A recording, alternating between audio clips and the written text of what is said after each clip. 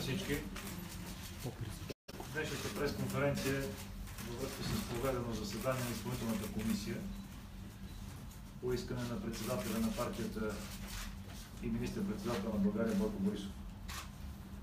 Всичко, което се случи във вчерашния конгрес на БСП, които се изявяват като альтернатива, можем да кажем няколко основни неща. Ще се движим по конспекта, по начина по който те изразиха своите оценки за днешното управление и как искат да станат альтернатива. Не смятаме, че искането на вод на доверие става с магическа пръчка и може веднага да станеш альтернатива на сегашното управление. Защото това, което прави ГЕРБ след проведените избори от 26 март тази година, е да изпълним управленската си програма, да се борим ефективно срещу корупцията, организираната престъпност и да можем да изпълним приоритетите си във връзка с предстоящото председателство. Относно темите, свързани с борбата с корупция, как ще се бори БСП, всички ние знаем в исторически план кой как е стоял и кой как се е борил с корупция. Ето ви данните, къде се намира БСП, когато управлява и данните, когато ГЕРБ управлява. Абсолютно несъстоятелна теза, но обслужваща само и единствено популизма, люкарството, а това не е политическа альтернатива. Това, което също бих искал да споделя пред вас е за борбата с контрабандата и всичко това, което се дава от неправителствените организации. Това са данните, в които контрабандата се е ширила в средите на БСП, когато те се управляват и когато ГЕРБ управлява, нивата стигат най-низките от 2007 година до сега. Това са последните данни, които излязаха само преди няколко седмици. Аз мятам, че БСП трябва да решават първо вътрешните си проблеми, но не трябва това да им бъде альтернативното говорене за бъдещо управление. Защото когато не можеш да овладееш своята партия, когато нямаш подкрепата от твоята партия, когато съответните самишленици на тази партия започват да напускат тази партия заради лидера си, не смятаме, че е сериозно да хвърляш обвинения за модерно робство към партия, която през последните 10 години е спечелила демократично изборите за местна власт, изпълнителна власт и президентската институция, която спечелихме 2011 година. Така че за БСП явно альтернативата на управление е да могат да формират фалшиви новини, да могат да вкарват интриги, но не и да представят това, което прави днес правителството във външно-политически план и в тази стабилност и на економически растеж във вътрешно-политически план. Защото днес Западните Балкани и политиката, която прави правителството и министър-председателят на България, допринасят за авторитета на България и създаването за европейската альтернатива за всички представители от Западните Балкани. Нека всеки един, когато говори за корупция, нека всеки един, когато говори за приоритети на председателството, да знае, че те вече са утвърдени и те вече се изпълняват. И когато лидерът на ПЕС излиза и казва, че и той иска да се бори за някаква промяна, само да кажем, че външната легитимация, която дава днес държавата и всички мероприятия, които са инициирани от лидера на ПЕС, най-високото политическо участие в тези форуми е било на министър-председателят на България Бойко Борисов. Смятаме ли, че това не трябва да бъде подкрепено и смятаме ли, че това трябва да бъде начинът на говорене в политически план в България? Аз ще дам думата на Лили Павлова, министърът, който има пряко отношение по изпълнението на председателството.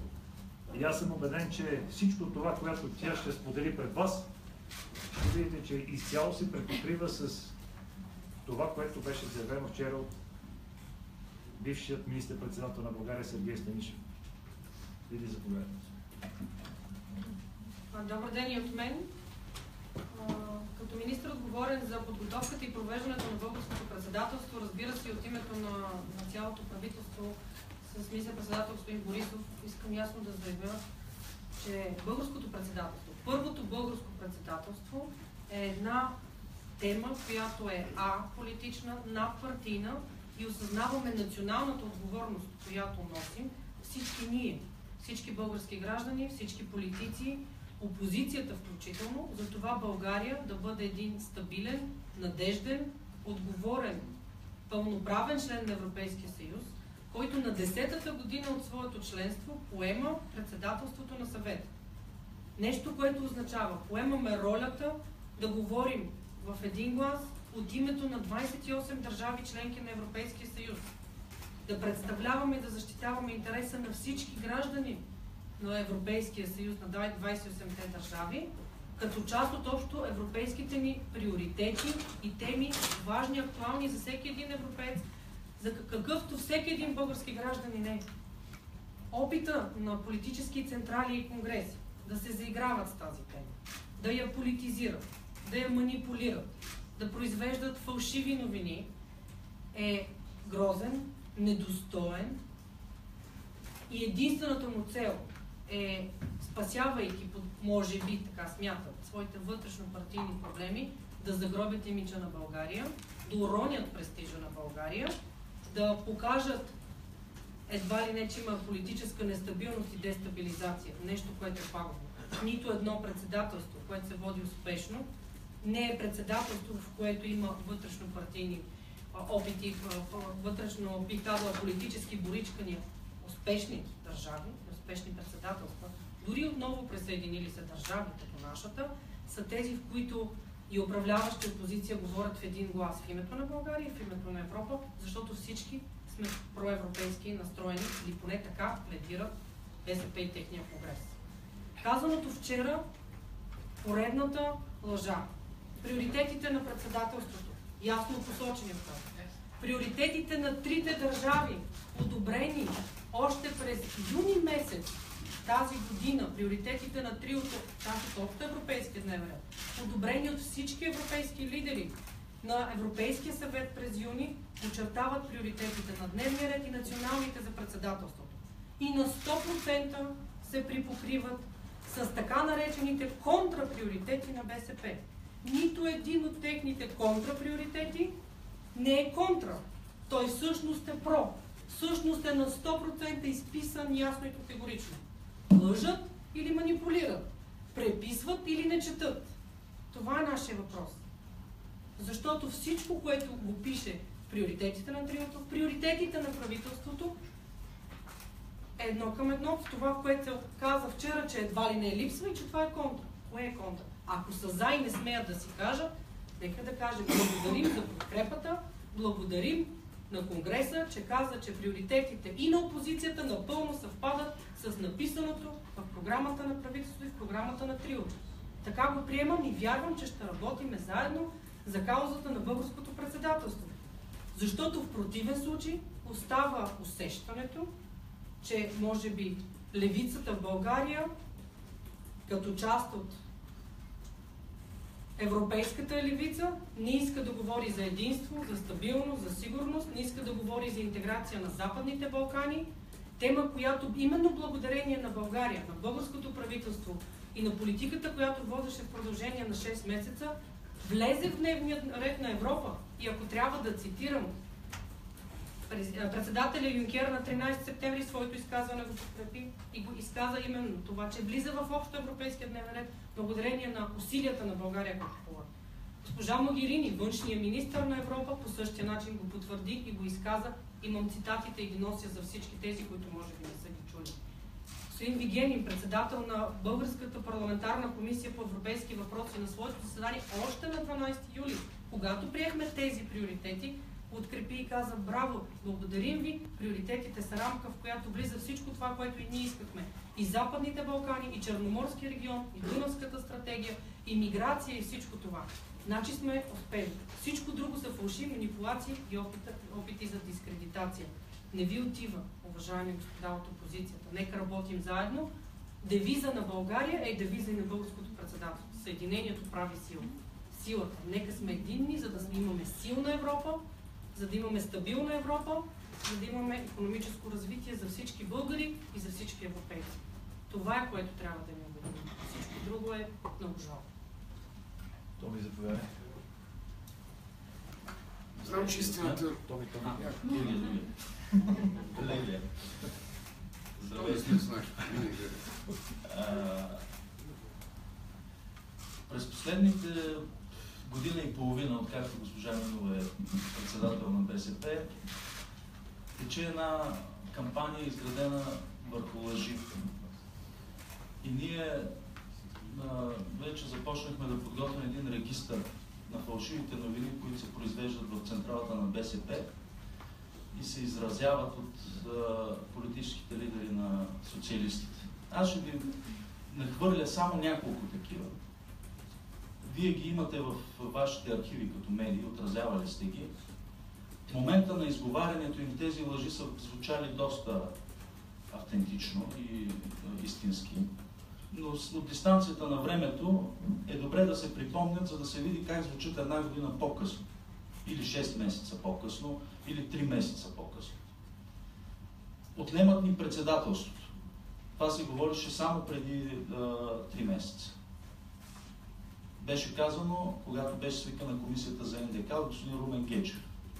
И беше преповторено от други политици на БСП. Няма 160 милиона евро за ограда. В тази зала се налагаше да, да опровергаваме тази лъжа точно преди една година. Има ли 160 милиона евро за ограда, да отговори госпожа Нинова? Има ли ограда? Защото те твърдяха, че тя няма да бъде и построена. Сега вече твърдят, че тя е пропусклива. Значи констатират, че такава ограда има. Все пак. Липсва 1 милиард по селската програма. В края на януари тази година техните енергийни експерти обявиха, че има режим на тока. И ще има режим на тока. Да е имало режим на тока, на някой да му е спряло осветлението или печката. Няма да изпълним условията за европрограмите и ще ни ги спрат в средата на годината. Всички условия са изпълнени и никакви европрограми не са спрени. А, преди две години говореха за 16 милиарда дълг, който ще бъде изхарчен. Не само, че не е изхарчен, а дефицита спада и по този начин намалява и, и външния дълг на България. Защо спряха да говорят за тези дългове? Крадат се 15 милиарда от обществени поръчки. Искам да ви информирам, че за обществени поръчки се дават по 6 милиарда. Как може да се откраднат 15 милиарда при положение, че има 6 милиарда, могат да обяснят в моралната милиция, която е сформирана на Позитано и получава сигнали от цялата страна в рамките на кампания Не на страха. Така чух, че има някаква такава кампания. И нали, като черешката на тортата, началника на разузнанието е братовчет на премиера. Това беше опровергано преди няколко дни. Цялата тази а, кампания има своя причина.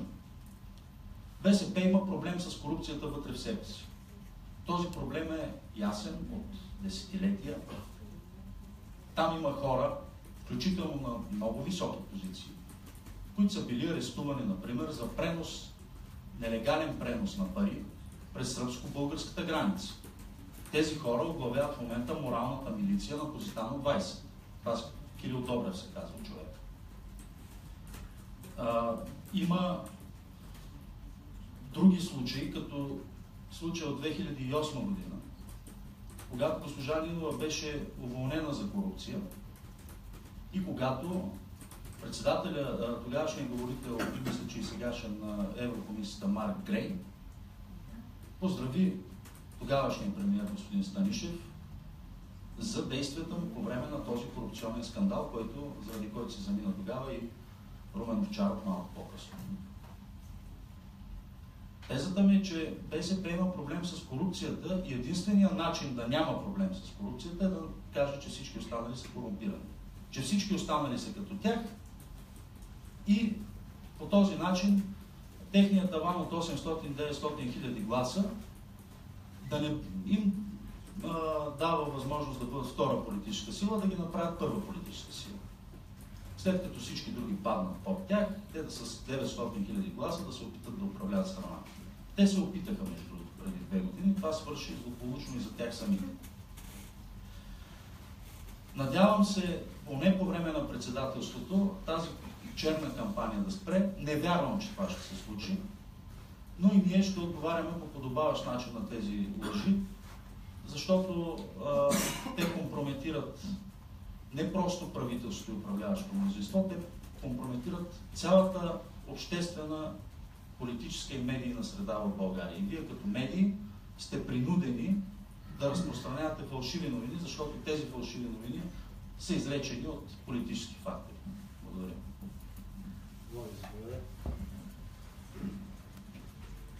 Слушаме в последните месеци альтернативата на БСП.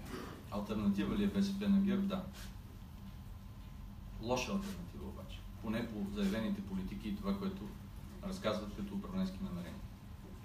В тесен смисъл, ако говорим за политиките, които искат да плетат в така наречения альтернативен бюджет, въпреки че е твърде амбициозно нахвърлянето на няколко сметки, да има претенция да обхване целият публичен сектор и да се превърне в документ альтернативен на това, което правителството ще внесе в понеделник, е малко наивно.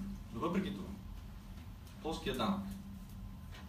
В момент, в който имаме обръщане на тенденцията и завръщане в България на млади, инициативни, образовани хора, да наказваш с по-високо облагане точно тях и да ги противопоставяш на необразовани, да ги противопоставяш на неинициативни, е абсолютна класическа догматична грешка. В момент, в който проблем на държавата са човешките ресурси, трябва да направим това, което ние предлагаме. Да инвестираме в образование, да инвестираме в качеството на образование, да инвестираме в квалификация на персонал. Освен, че ще разбалансира държавната сметка, отново ще противопостави тези, които могат и знаят, на тези, които не са толкова подготвени за съвременния живот. Разходни политики. Произвеждала повече държавата, подценявали сме брутния продукт. Произвежда повече държавата. Последните години, да. Именно благодарение на политиките, които сегашното управление налага. Какво по-добро доказателство за това, че обществото живее по-добре, от това, че доходите растат и то потребява повече? Какво по-голямо доверие към управлението от това хората да, продължат да потребяват и да инвестират в собствената си економика? Да, вярно. Вероятно ги дразни. Но те не могат да бъдат альтернатива на това.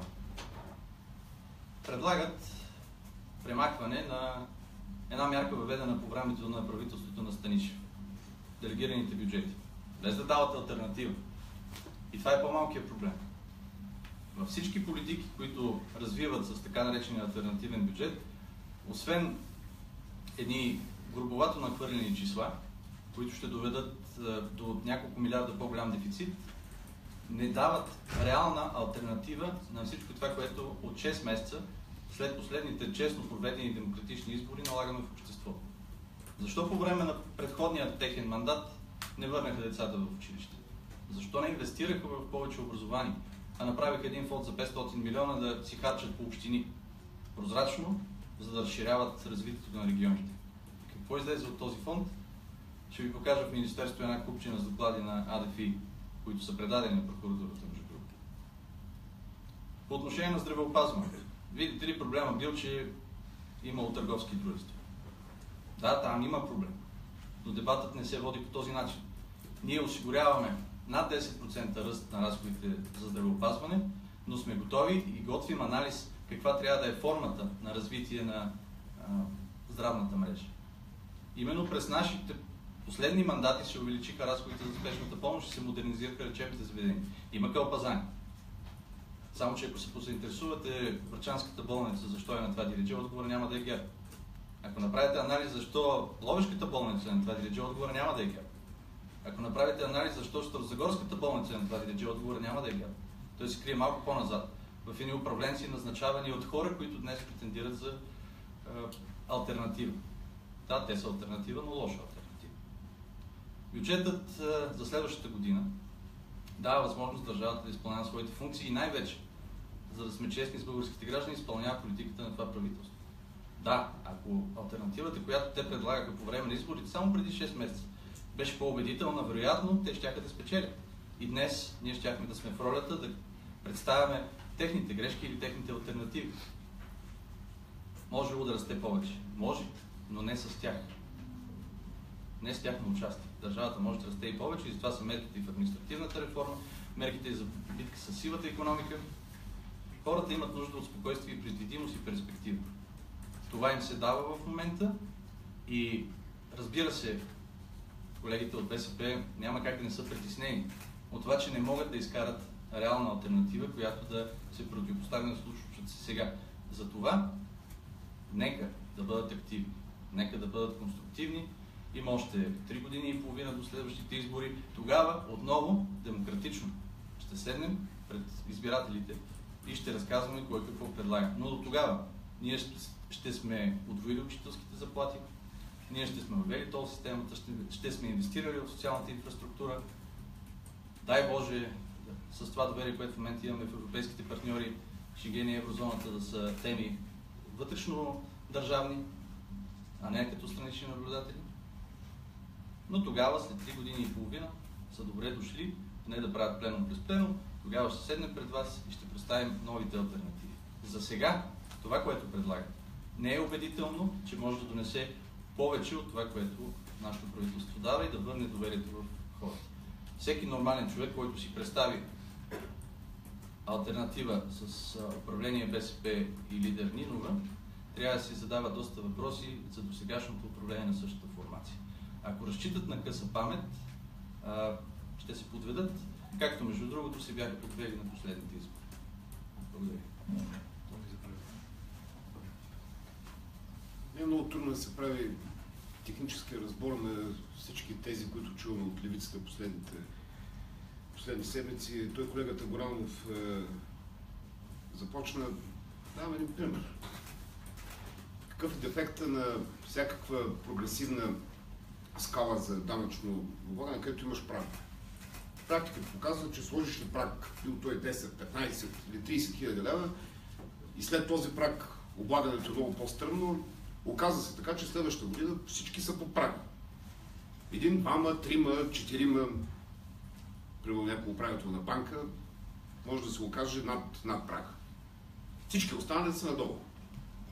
Допълнително, освен всички останали коментирани негативни ефекти, това би имало ефект по отношение на изсивяване на економиката. Да не коментирам прослута панацея болниците да не са търговски дружества. Аз съм съгласен. Имаме всички аргументи, примерно те да бъдат юридически лица с нестопанска цел. Само, че това не променя почти нищо. Единственият текст, който върши работа е, че юридическото лице с нестопанска цел има право да формира, няма право да разпределя печалба. Тоест, ако има печалба, тя се реинвестира в самото здраво заведение. Друг аргумент няма, нито един. Това нито би решило проблема с дълговете, нито би от само себе си подобрило начина на управление на здравните заведения. Проблемите са на друго място. Аз претендирам, че до голяма степен сме ги адресирали. И хубаво колегата Биков взе да води регистър на фалшивите новини, само че изпусна някои от най-важните. Не, ние не искаме коалиция с ГЕРБ.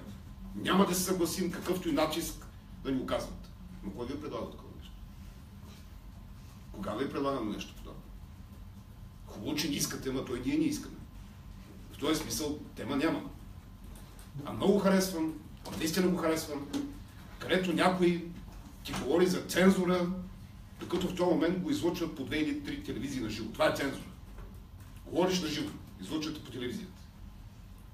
Не знам къде е дефицит, защото по мой спомен от ранното ми детство, си от 12-я конгрес от 14-я ги публикуваха в един подлистник във вестниците. Явно там е проблема.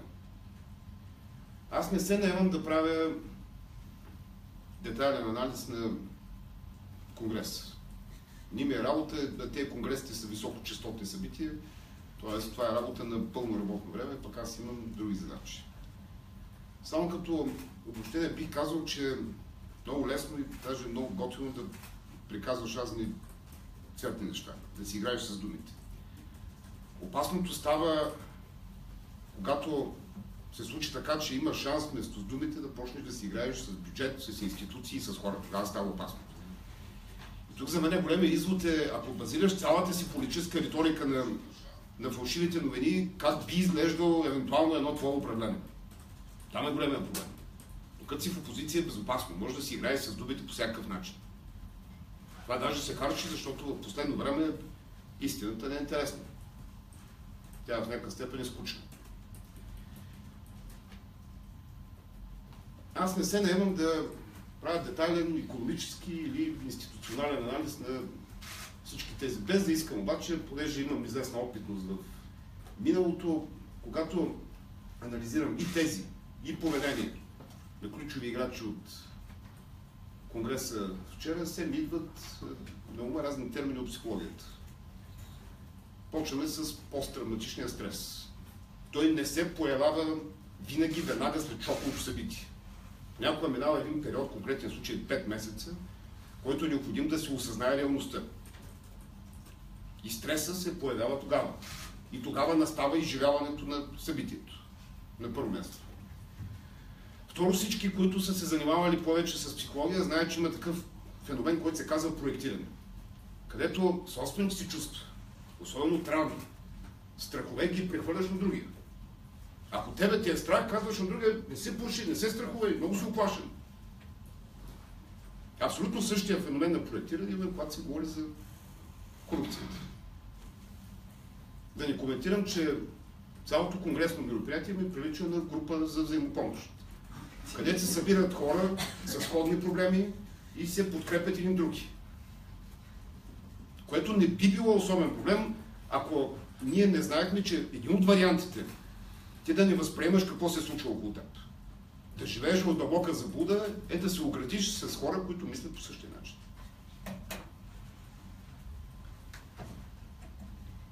Смятам, че колегите се постараха максимално да дадат отговор на това, което се случи вчера. Но когато беше формиран 44-тия парламент, ние имахме едно желание.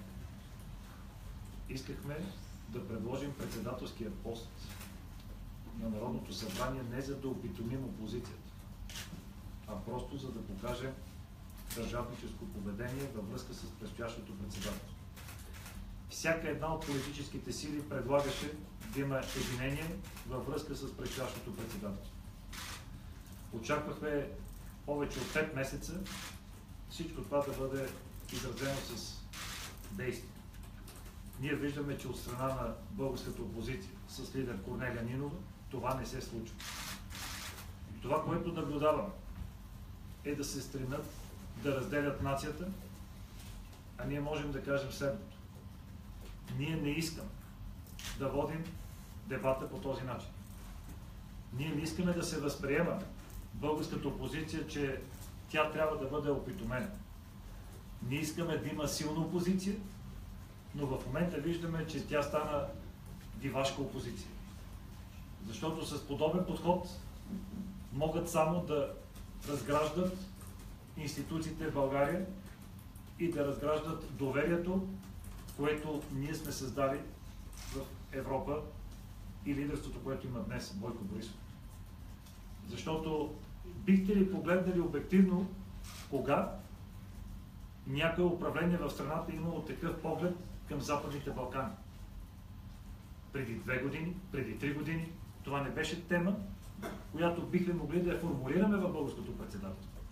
И когато това е факт, когато министър-председател, външният министр и всички министри, които работят по председателството и българския парламент, ние правим диалог и сме винаги с протегната ръка, за да изградиме средата за сигурност, която означава, че трябва да има добросъседски, добри отношения както с съседите, така също и с всички държави от Западните Балкани.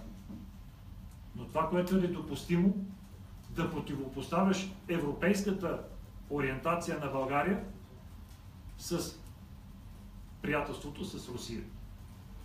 Аз мятам, че това е несъстоятелна теза.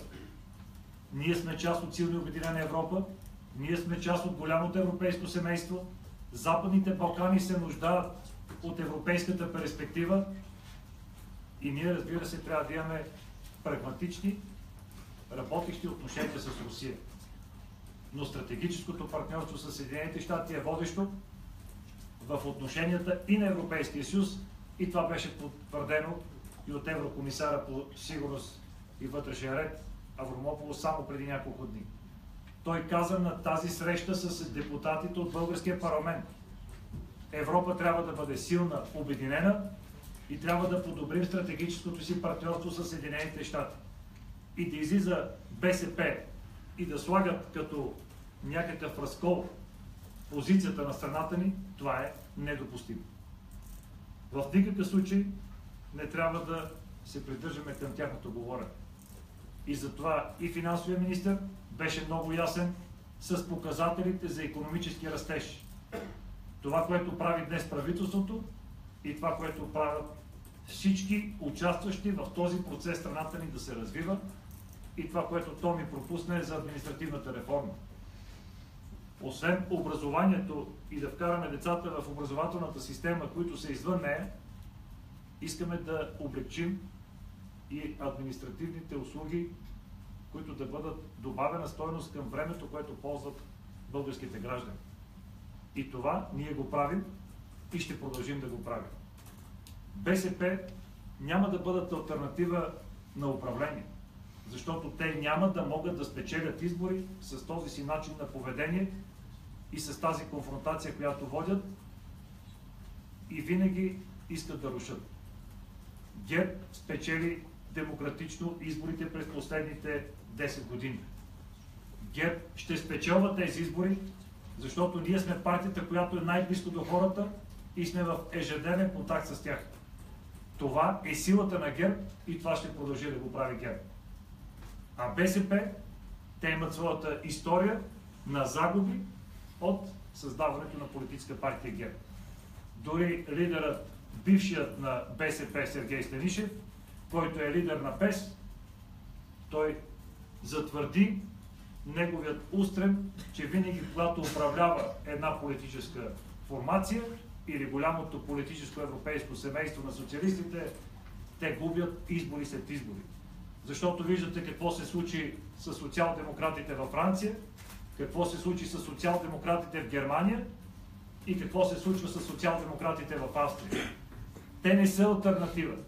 Това трябва да е ясно, а още по-малко пък БСП да бъде альтернатива на днешното управление. Защото 2015 година, когато бяха местните избори, ние ги спечелихме, защото имахме видими резултати от нашето управление. Но ние не влязахме в конфронтация с нашите опоненти. Ние просто предлагахме альтернатива на реално управление в местната власт, там където спечелихме изборите и това ще правим и за напред. Доказателство за това са последните частични избори, които бяха проведени само преди две седмици. В 10 населени места ГЕРБ спечели 5. Две общини, в които бяха проведени тези частични избори, ГЕРБ ги спечели. И в Вълчидол, и в Трън. Защото БСП не е альтернатива. Дори в Трън те са трети, защото просто не могат да бъдат дори и втори. От тази гледна точка ние не можем да продължаваме да отговаряме по този начин на БСП, по който те ни провокират. Но днешната пресконференция е много ясен знак. Да заявим и това, което каза Томислав.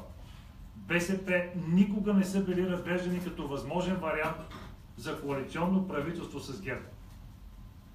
ГЕРБ ще излезе с политическа декларация на предстоящия конгрес за това, че никога няма да влизаме в управление с БСП. Защото трябва да спрем спекулациите и когато някой търси врага си с партиен билет в неговата партия, нека да го търси там, но не да го прехвърля като отговорност на политическа партия ГЕРБ. Политическа партия ГЕРБ е с протегната ръка за всички национални приоритети, за всички теми, които са свързани с националната сигурност, с развитието на държавата и това, което каза госпожа Павлова. Нека да прочетат внимателно това, което предлагат. Да, ние сме го направили още юни месец, когато бяха одобрени приоритетите на триото Естония, България, Австрия. В момента те се изпълняват. Хубаво е, че господин Станишев вчера каза какви са приоритетите, които са залегнати точно тук, в тази книжка.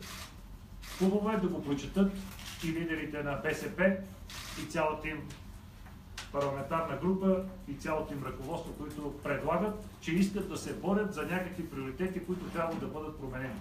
Това е невъзможно да стане в сегашните условия и в сегашния период.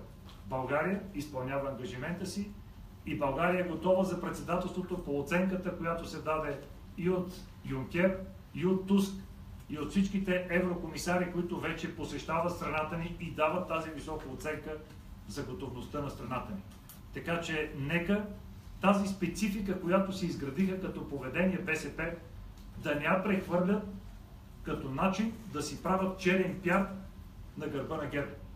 ГЕРБ няма да позволи да се обиждат всички тези съмишленици, симпатизанти и членове на политическа партия ГЕРБ. Защото с подобно говорене на госпожа Корнелия Нинова и нейният отбор не допринася за нищо добро. Ние не искаме да разделяме страната, ние не искаме да разделяме Западните Балкани, ние не искаме да излизаме от Европейския съюз. И ние не искаме да се противопоставяме на това, което те искат да предлагат. Защото те не предлагат нищо, а те искат само да ни върнат в феодалното робство, което са го правили много добре през всичките тези години. Ще спра до тук и ако имате някакви въпроси, разбира се, с удоволствие ще се постараем да ви отговорим. Но тази таблица много е важно да я покажете на госпожа Корнелия Нинова, когато спори за корупцията и да припомните всичко това, което беше казано от колегите. Благодаря. Да, радио Катеринска Гръцинска, господин Цветанов, Корнелия Нинова, постигна ли целта си да опъне нервите на върху Борисов, който свика извънредно изпълнителната комисия на партията заради конгреса на БСП? Второ, какъв а, знак се дава към европейските и международните ни партньори за отпадането на митинга и приемането ни в Шенген, с това, че опозицията иска вод на недоверие по темата корупция, а не е изключено и президент Румен Радев да наложи вето на антикорупционния закон. И господин Горанов, към вас, приемате ли съвети от БСП за бюджета и виждате ли нещо изпълнимо в техния альтернативен бюджет? Благодаря.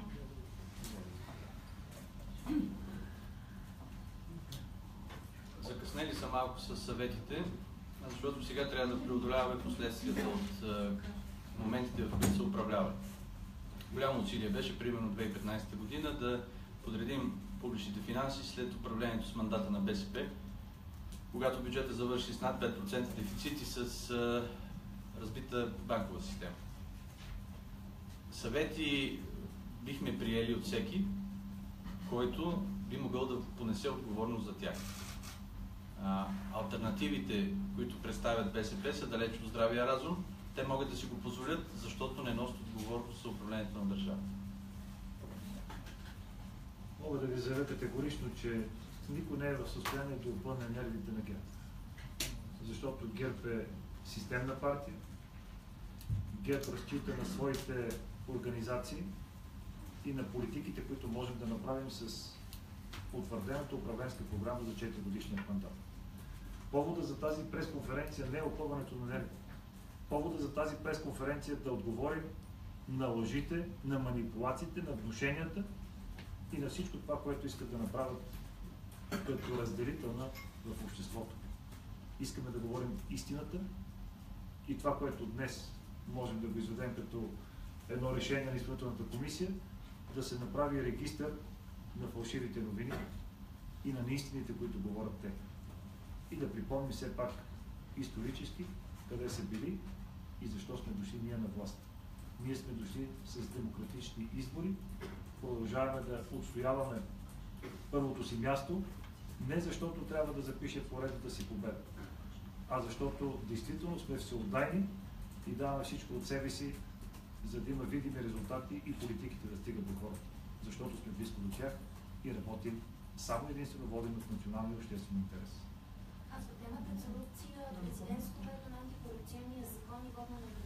Дебатите бяха водени както на консултативния съвет, така също бяха водени и в пленарна зала само преди дни.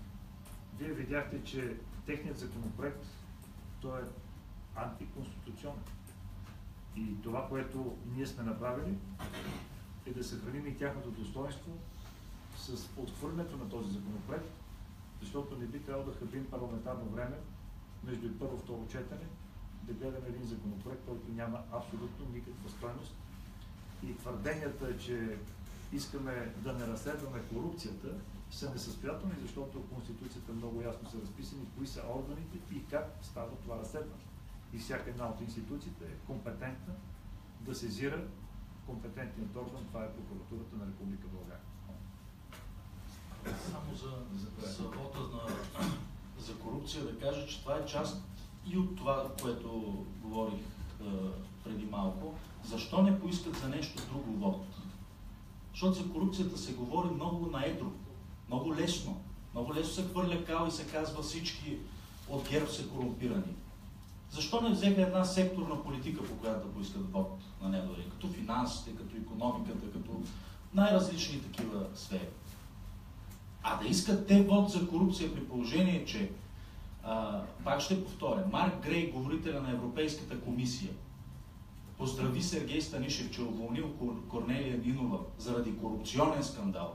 Сега те да искат вод на недоверие за корупция, без да кажат кога искат да са предсрочните избори, защото явно са си направили сметката, че, са, че ще падне правителството, щом искат това вод. Аз не вярвам те да искат фриволно някакъв вод. Може би са убедени в това. Кога да бъде? Март ли? И може би това ще подобри българското председателство за Европейския съюз, приоритетите. А, отделно а, от морални позиции, защото напоследък се говори, а, закона, законно е, но не е морално. Има двама депутати там, които още стоят в парламента.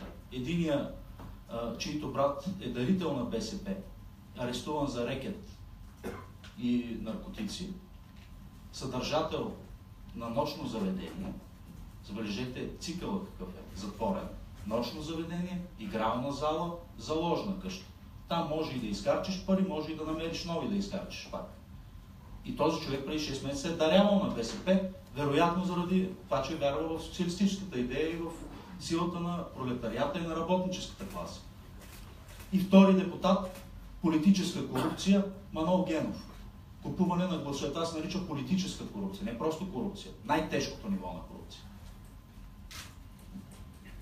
Господин Живков, труд. Аз имам два въпроса. Единият вероятно е към министър Трикла Томшев, вице-премьер, извинете. И той е следния. Казахте, че един от приоритетите на ГЕРБ е административната реформа. Знаем, че България е на едно от водещите места в Европа по брой чиновници на глава от населението. Имате ли някакви прогнози с колко ще бъдат намалени чиновниците в България след провеждането на административната реформа? И вторият ми въпрос е към господин Владислав Корагов. Е, бихте ли дали конкретни примери за нарушение с тези пари, с тези 500 хиляди лева, които БСП задели в един а, фонд? Най-общо какви са нарушенията, които са извършени при раздаването на тези средства за инфраструктурни проекти? Благодаря. Аз само да отбележа, че нищо не казах за административната. Господин Цветанов даже ми направи забележка, че съм го пропуснал. Аз много работи пропуснах, основно в стремежа си да бъда любезен, понеже имаше въпрос дали не сме си изнервили. Не сме, пронизан съм от хладнокръвие. Ако трябваше да бъда нелюбезен, ще я да кажа други работи. Може да направим, примерно, лингвистичен анализ. А там нещата стават още по-опасни, защото се говори за вериги, робство, хлебарки и така нататък. Но не съм правил. Когато коментирам альтернативния бюджет или контрабюджета, можеше да кажа, че това е контрабюджет, който е механичен сбор от всички идеи, с които левицата губи изборите последните 4 години. И това е факт, но не го казах, защото исках да бъда, исках да бъда любезен. Ако не исках да бъда любезен, най-вече щях да ви кажа, че когато Социалистическата партия пожелая да освобождава народа, аз винаги си изнервям. Поради исторически причини. Но не го казах, защото исках да бъда любезен. Ще си позволя да ви коригирам. България в най-лошия случай е някъде в средата на брой чиновници или държавни служители, отнесени към броя на населението. Дали следствие всичко, което се прави, някой от тях може да се наложи да търсят друго професионално поприще, краткият отговор е да. Най-малкото следствие електронизацията се оказва, че няма нужда от толкова хора, които да процедират документи на хартия. Следствие опита да имаме споделени услуги, вероятно част от служителите на общите администрации ще се наложи да търсят друго професионално призвание, което едва ли ще е проблем, между прочим. И за юристи, и за специалисти по човешки ресурси, и за счетоводители на пазара има голямо търсене. С броя не мога да се ангажирам. А и в крайна сметка целта на цялото занятие не е механично намаляване на броя на, на служителите, а оптимизация на процесите. Като резултат от това, да, брой може да се наложи, ще се наложи да се редуцира. Трудно е да се направи прогноза с колко.